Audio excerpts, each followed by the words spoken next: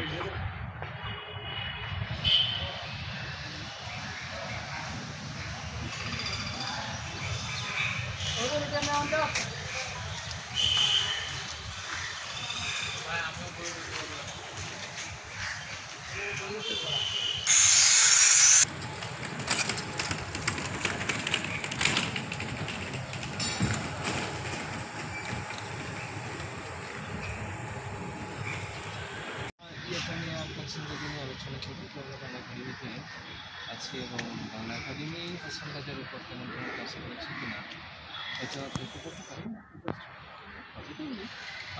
মানে নাই তো নাই যে করেনি তবে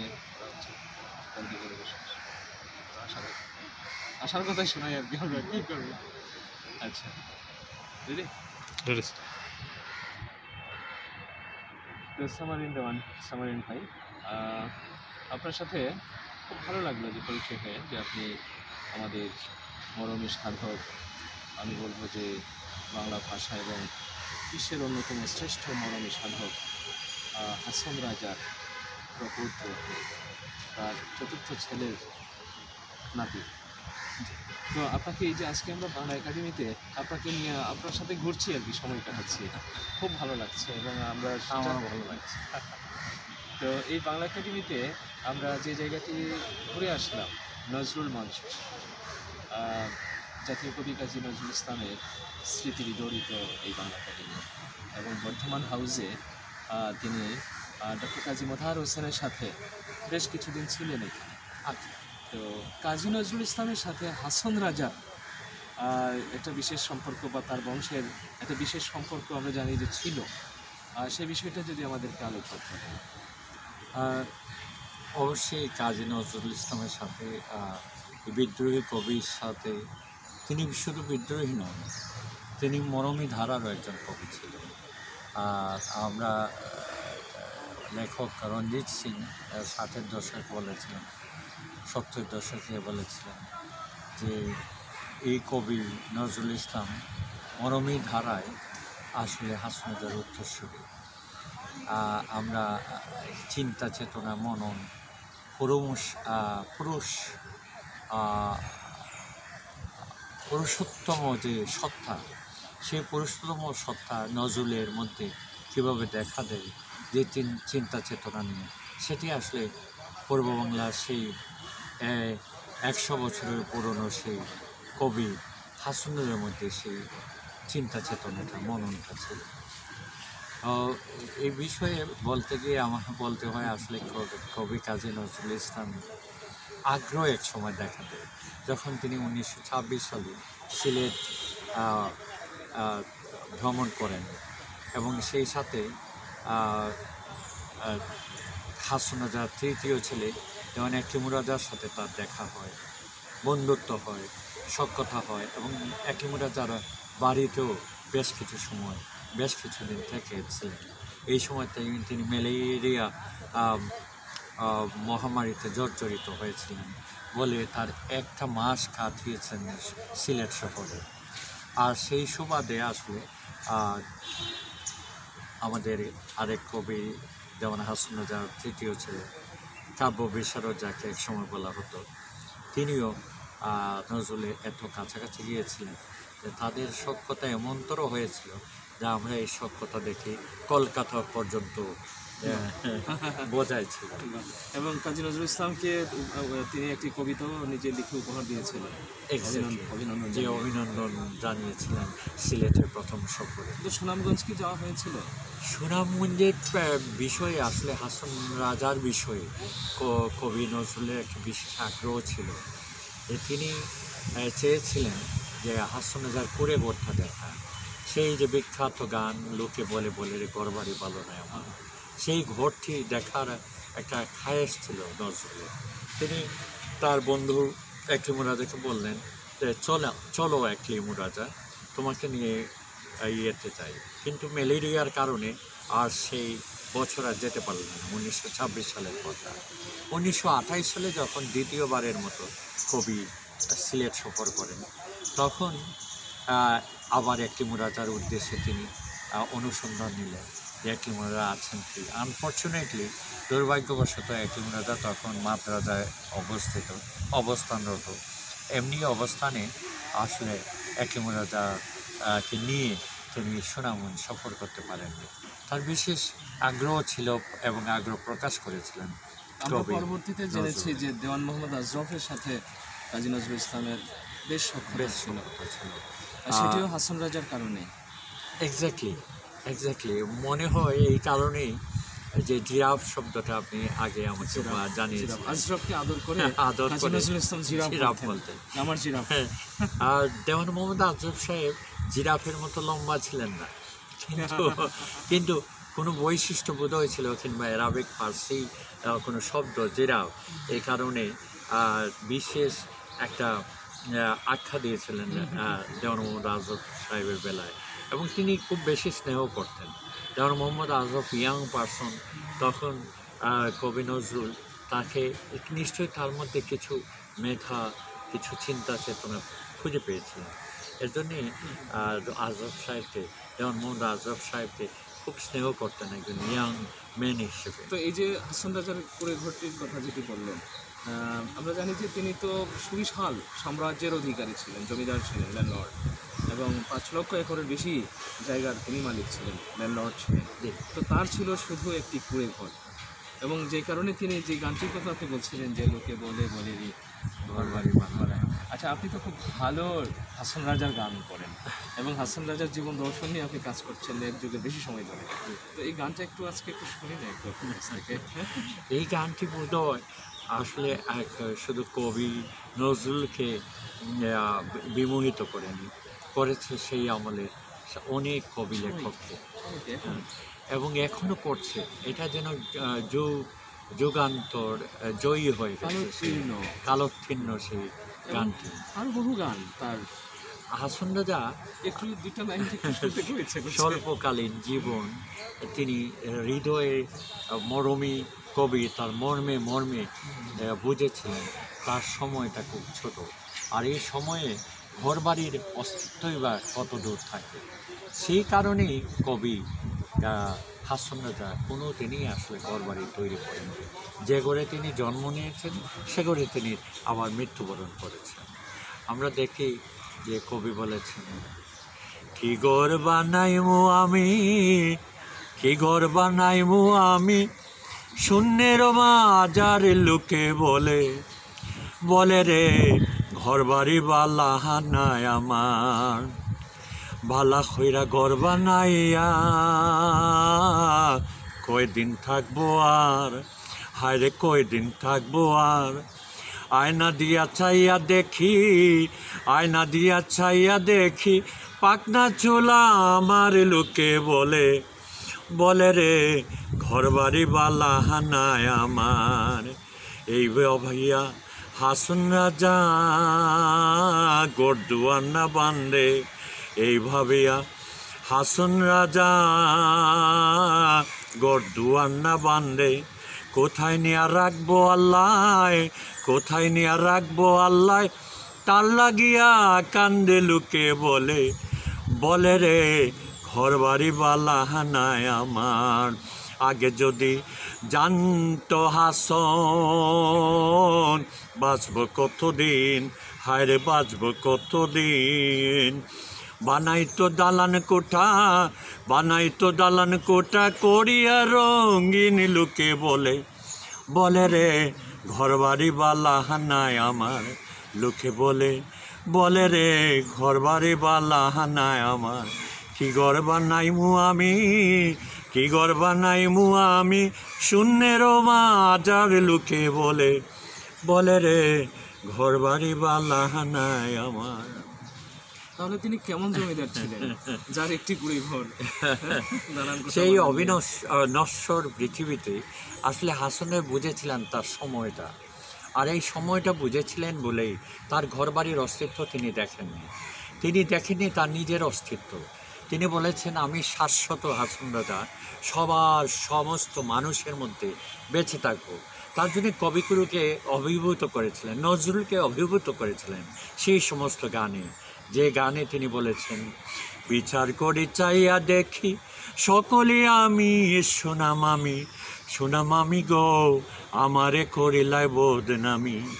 জীবন মরণ নাই রে আমার ভাই, বা দেখো ভাই, ঘর ভাঙিয়া ঘর বানানি, এই যে দেখতে পাই পাগল হইয়া আসন রাজা, কিসেতে কি কয়? মর্ব মর্ব দেশের লোকে মোর কথা যদি লয় শোনাম আমি।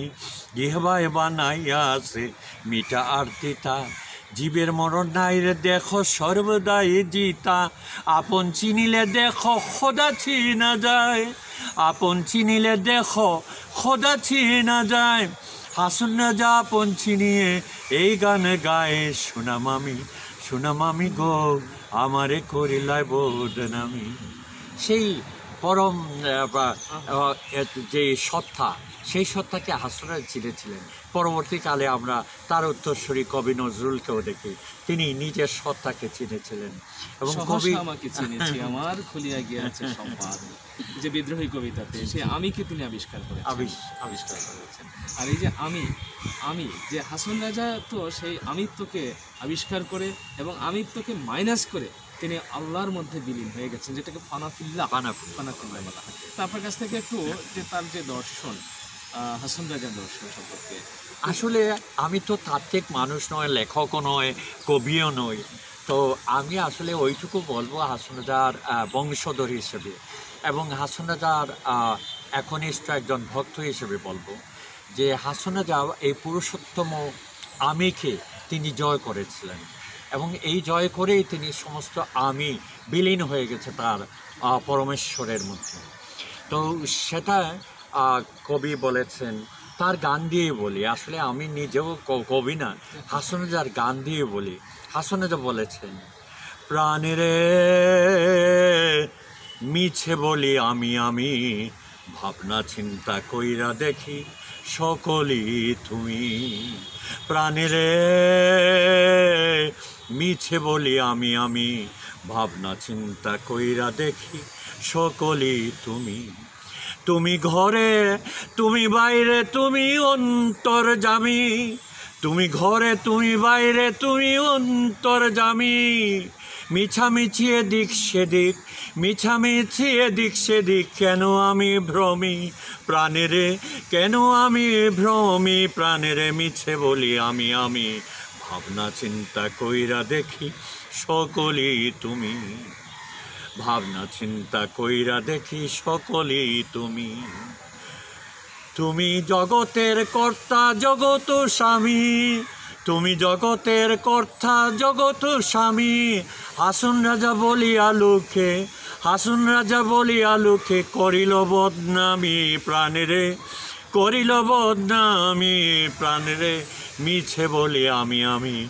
ভাবনা চিন্তা কইরা দেখি সকলেই তুমি। দেখেন রাজা বিলীন হয়ে গেছেন সেখানে। সেই আমি সত্তা আর আমি সত্তা রইল না। সেটা হয়ে গেল পুরুষোত্তম সেই মহান সত্তা আল্লাহর সত্তা। তো এখানে আমরা আসলে কি বলব? আপনি বেশি বুঝবেন নজরুলকে বেশি স্টাডি করেছেন জানেন। নজরুলকে আবিষ্কার করলে হাসনাকেও সহজে আবিষ্কার করা যাবে। এটা আমার বিশ্বাস। একই ধারা। সেই দু মহাজন। আর এই কারণে আজকে আমি খুব ভালো লাগছে যে যেখানে নজরুলের বিচরণ ছিল এই বাংলা একাডেমিতে বর্ধমান হাউসে।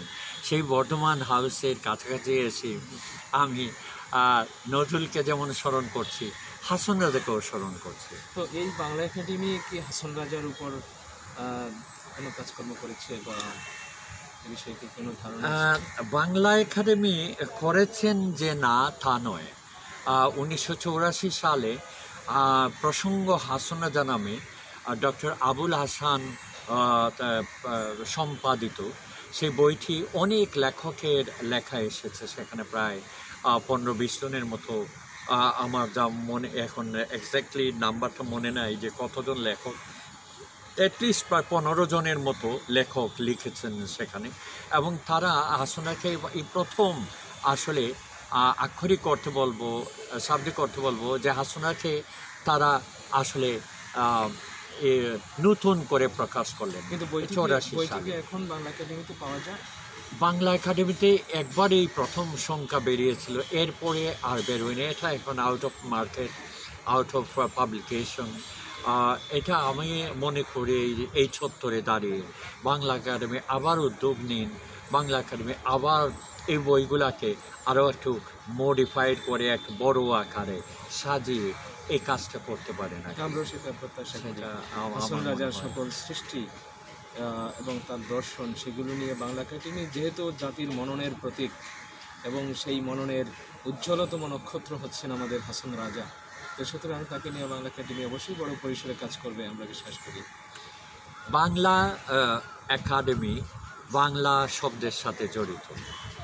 আর আমরা হলাম সেই বাঙালি জাতি উনিশশো দশ সালে হাসনজা একটা গান লিখেছিলেন। সেখানে আমরা দেখি, আসলে জানি উনিশশো একাত্তর সালে আমাদের স্বাধীনতা, উনিশশো বায়ান্ন সালে আমাদের ভাষা আন্দোলন, সেই বাংলা ভাষা, একটা সমস্ত বিশ্বজুড়ে বিখ্যাত ভাষা আন্দোলন। সেই ভাষা আন্দোলনের ডাক পড়েছিল উনিশশো বায়ান্ন সালে। আর এই বাংলা একাডেমি তার সাথে অতপ্রতভাবে প্রাণকেন্দ্র হিসাবে পরিচিত এই ভাষার সাথে। হাসন রাজা উনিশশো দশ সালে এই বাঙালি শব্দ দিয়ে তার পরিচয় দিয়েছেন। তিনি এই বাঙালি শব্দ দিয়ে তিনি তার নিজেকে ইংরেজ শাসক শোষকদের সামনে তুলে ধরেছেন যা আমি বাঙালি হাসন রাজা। গানে আমরা শুনি হাসন রাজা জানিয়েছেন আমি তোমার খাঙ্গালি গো সুন্দরী রাধা আমি তোমার খাঙ্গালি গো। তোমার লাগা খান্দা ফিরে, তোমার লাগা খান্দা ফিরে, হাসুন রাজা বাঙ্গালি গো, সুন্দরী রাধা, আমি তোমার খাঙ্গালি গো। হিন্দু বলে তোমায় রাধা, আমি বলি খোদা। রাধা বললে ডাকলে মোল্লা মুনসে দে বাধা। সুন্দরী রাধা, আমি তোমার খাঙ্গালি গো। আমি তোমার খাঙ্গালি গো সুন্দরী রাধা। আমি তোমার খাঙ্গালি গো তোমার লাগা খান্দা ফিরে তোমার লাগা খান্দা ফিরে। হাসুন রাজা বাঙ্গালি গো সুন্দরী রাধা। আমি তোমার খাঙ্গালি গো। অবাক হওয়ার মতো কথা। কত গর্ব করে বলছে আমি বাঙালি। আমি বাঙালি হাসুন রাজা। তো সুতরাং এই বাংলা একাডেমি এই বাঙালি হাসান রাজাকে নিয়ে তো বড় কাজ করতেই পারে করা উচিত? করা উচিত আসলে আমার মনে হচ্ছে। আপনার সাথে আচ্ছা হাসান রাজা সম্পর্কে আমরা যেটুক ধারণা আমরা পাই এই যে কয়েকটা সিনেমা হয়েছে নাটক হয়েছে তাতে করে দেখা যায় যে উনি একজন মানে ভোগবিলাসী একজন অনেক মানে অত্যাচারী জমিদার এই ধরনেরই ছিলেন। হঠাৎ কি হয়েছে? তিনি গানের জগতে চলে এ- এই বিষয়টা এইখানে আসলে আমার গত বারো বছরের যে গবেষণা এবং পরিশ্রম এই প্রেক্ষাপটে আমি বলছি যে এইখানে আসনারাকে বোল্ড টার্ম দিয়ে ব্যাখ্যা করা হচ্ছে ডিফাইন করা হচ্ছে যে হাসনে যে বুক বিলাসী হাসনে কখনো বুক বিলাসী ছিলাম না। যদি থাকতেন তাহলে তার কোনো গানে তিনি বলতেন যে আমি বুক বিলাসী। বরঞ্চ তিনি বলেছেন যে পাঁচ লক্ষ একরের জমির মালিক সারা সিলেটে। আমি সাদা মাটা খুঁড়ে করে থেকেছি। আমি কী করে বানাবো? রঙিন দালান কোঠা বানানোর প্রয়োজনীয়তা আমার নেই আমার জীবনে। আর আমি ধুতি পরতাম, লুঙ্গি পরে লুঙ্গির মতো পেঁচিয়ে গায়ে থাকতো একটা গেঞ্জি, উপরে একটা শাল থাকতো। এই ছিল সাদামাটা হাসনাজা এই সাদামাটা হাসনাজাকে কেন যে এরা পরবর্তীকালে সিনেমার লাভ লোকসানের কারণে তারা এত দূর হাসনাকে বুক বিলাসী অত্যাচারী জমিদারি হা- আহ, হাসনাজা বানিয়েছেন অবিচারী প্রেক্ষাপটে রাজা বানিয়েছেন। এই সমস্ত বিষয়াদি আসলে একেবারে কল্পনা প্রসূত কিছু বিষয় এসে গেছে। এবং হাসনাকে এরা আমার মনে হচ্ছে এই গবেষণার জায়গা বাংলা একাডেমির চত্বর থেকে আমি বলছি যে যারা এই চরিত্রায়ন করেছেন হাসনাকে তারা আসলে কোনো গবেষণা ছাড়াই করেছে এবং তারা হাসান রাজার সৃষ্টিকর্ম ঠিকভাবে বুঝেন না। না বুঝেননি। আপনারা বুঝে কি প্রতিবাদ করেছিলেন? আমরা প্রতিবাদ করেছি। আবার ওই যে আছে না দেশে যে রাজনৈতিক সামাজিক প্রেক্ষাপটে রাজনীতিটা একটু ভীষণভাবে আহ, ওতপ্রোতভাবে এসে যায়। এবং সে কারণে রাজনীতিতে দ্বিধা বিভক্তি আছে রাজনীতিতে আপনার দ্বিমত আছে। সেই দ্বিমতের কারণে আমাদের মৌলিক বিষয়গুলা যদি আমরা ভাগ করে ফেলি, বিভাজন করে ফেলি। তাহলে দুঃখজনক। এই বিষয়টাই এরকম হয়েছে শুনেছিলাম যে মামলাও হয়েছিল। মামলা দেওয়ান মোহাম্মদ আজরফ সাহেবের তার মেয়ে। দেওয়ান মোহাম্মদ আজরফ সাহেবের মেয়ে সাদিয়া পরাগ সেটা তিনি মামলা করেছিলেন। তো আপনাদের পর্যায় থেকে যে মামলা পর্যন্ত করেছেন এর চেয়ে বেশি আর কি করবেন আসলে? এক্স্যাক্টলি এবং আমার মনে হচ্ছে যে আসলে সরকার জাতি দেশ যদি মৌলিক ধারার একজন ব্যক্তি হিসেবে কবি হিসেবে সৃষ্টিকার হিসেবে হাসনারেখে চিহ্নিত করতে পারেন। তাহলে সেখানে বিভাজন আসে না। সেখানে এবং হাসনারেখে এই বিকৃতি ঘটানো যায় না। এটা ঘটানো যায় না। ও এটা ক্লিয়ার কাট পরিষ্কার পরিষ্কার একটা আপনি বলতে চাচ্ছেন যে হাসন রাজা বাই বর্ণ উনি আধ্যাত্মিকের জন্য আধ্যাত্মিক বা তার যে রক্তধারা সেইভাবেই তিনি তৈরি হয়েছেন। যে সাদা সিধে মানুষ ভালো মানুষ। কিন্তু তার কি কোনো তার সৃষ্টির মধ্যে তার নমুনা কি আমরা পাই? অবশ্যই আপনি পাবেন না কেন? হাসনা যা সৎ লোক ছিলেন হাসনের যে জমিদার রাজা সেটা তার কাছে বড় পরিচয় ছিল না। তিনি ছিলেন এক মহান সাধক পুরুষ। সেই মহান সাধক পুরুষ বলেছেন যে আমি কেউ যদি আমার কাছে ভণ্ডামি করে আমার সামনে এসে মুনাফিকি করে মিথ্যা উঠিয়ে দেয়। তাহলে আমি নজরুলের মতো নজরুল তো তখনও জন্ম নেননি নজরুলের মতো আমি সে- সহ্য করতে পারি না। আমি সেটাকে তার মধ্যে বিদ্রোহী বিদ্রোহী সত্তা চলে আসে। আর যে কারণে হাসুনাজা একটা গানের মধ্যে বোধহয় আছে যে শত জমকেও আমি ভয় করি না। হ্যাঁ সেই বিষয়টা নজরুলের সাথে অনেকটা মিল আছে। যায়। হাসনাজা সেই গানে বলেছেন আমার হৃদয়েতে শ্রীহরি আমি তোর জমকে বয় করি? শত জমকে তেরে দেব শত জমকে তেরে দেব সহায় শিব শঙ্করী সহায় শিব শঙ্করী আমি কি তোর জমকে বয় করি? আমার হৃদয়েতে শ্রীহরি আমি কি তোর জমকে বয় করি? ওনার একজন ইংরেজ কর্মচারী ছিল। জি। এর রহস্যটা কি? ইংরেজ কর্মচারী তিনি রেখেছিলেন যে ইংরেজ আমল তো ইংরেজ শাসন শোষণ তাদেরকে দেখানো। যে দেখেন কবি হাসন রাজা ইংরেজ অধীন নন। তিনি স্বাধীন মানুষ এবং তিনি ইংরেজকে অধীন রেখেছেন। ইংরেজি তার তার ইংরেজ বডিগার্ড দেখুন স্বাধীনতার যে একটি? এবং যে কারণে উনিশশো দশ সালে তিনি ইংরেজের সামনে দাঁড়িয়ে গর্ব করে বলছেন হাসান রাজা বাঙালি। বাঙালি।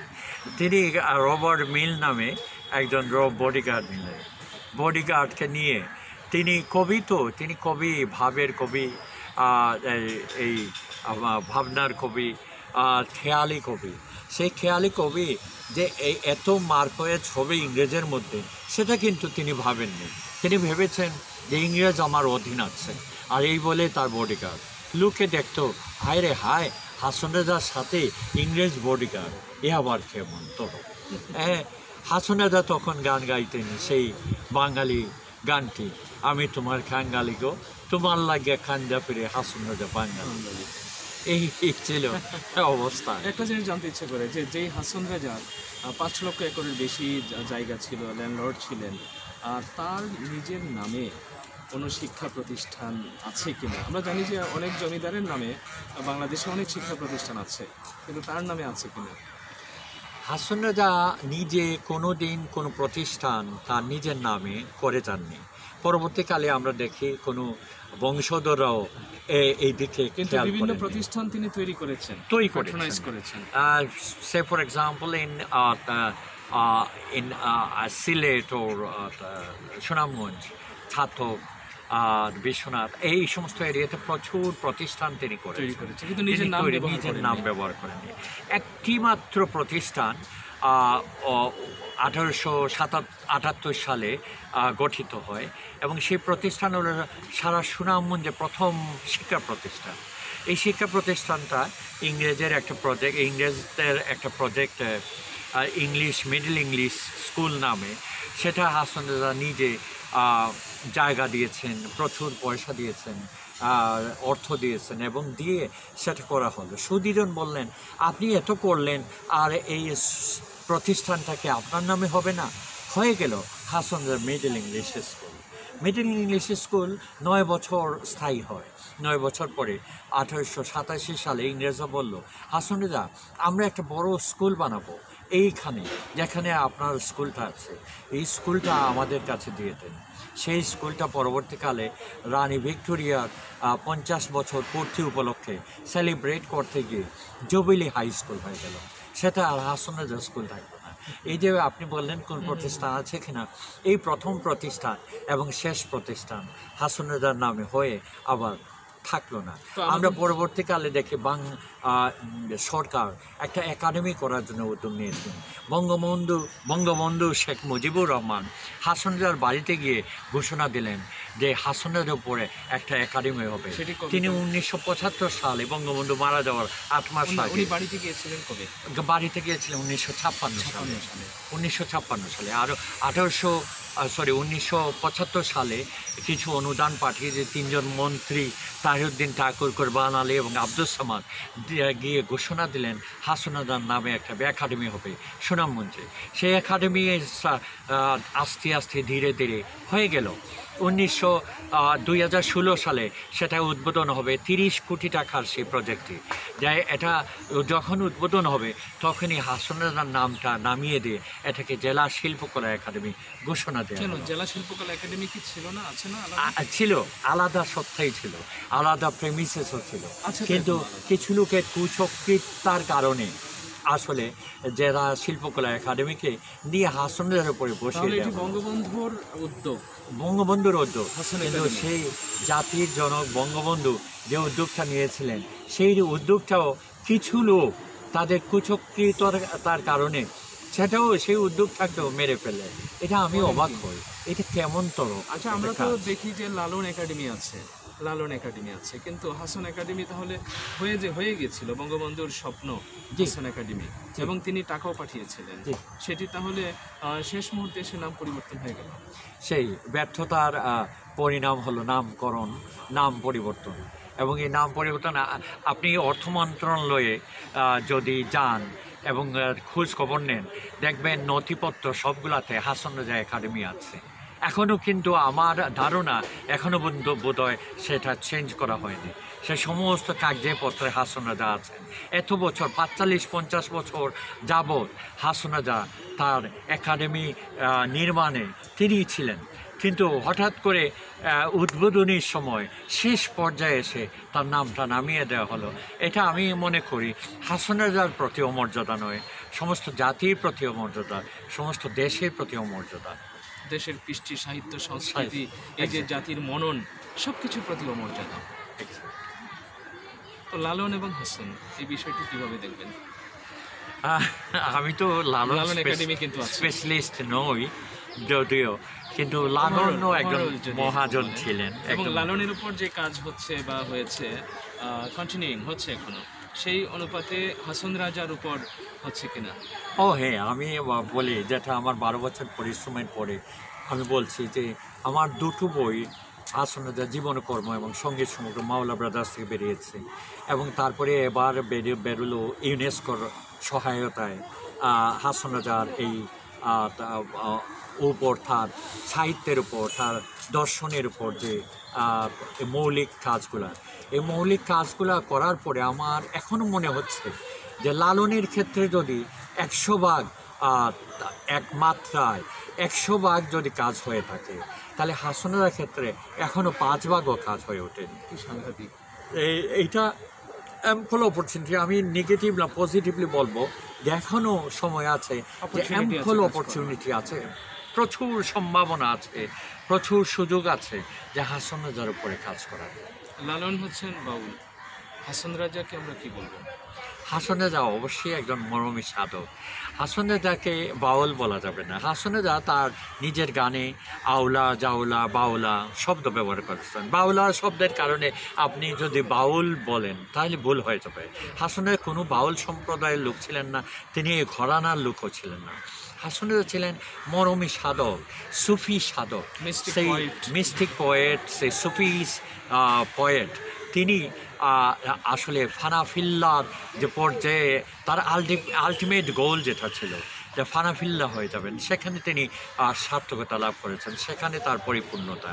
এবং এই এই বিষয়গুলো আসলে ফুল রিসার্চ করলে আমার মনে হয় ইরানিয়ান সভ্যতা থেকে পার্সিয়ান সভ্যতা থেকে আমরা কোনো অংশে কম নই। সঠিকভাবে কাজ যদি হয় তাহলে কিন্তু সেটাই দাঁড়াবে। অনেক সমৃদ্ধ। আমাদের হাসান রাজাদেরকে আমরা যদি সামনে নিয়ে আসি তার সৃষ্টিকর্ম দর্শন নিয়ে কাজ করি আমাদের এই সমৃদ্ধি হবে। যে তিনি তো চলে গেছেন তার আর কি পাওয়ার আছে তাই না? আমরা সমৃদ্ধ হব. আমার তাই মনে হচ্ছে। অনেক ধন্যবাদ আপনাকে।